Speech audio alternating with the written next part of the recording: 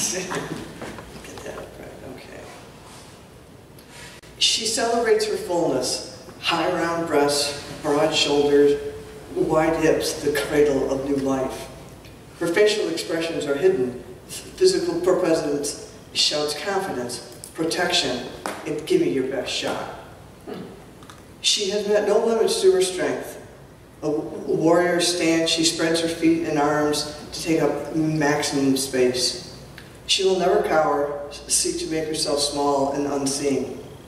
Strength does not exist in a vacuum. She is guarded. Half of her is camouflaged, so only her frame is revealed. What makes a, woman so strong? What are her fears? Oh, the lucky few, gifted with the honor, joy, and burden of really knowing the soul of a woman so strong.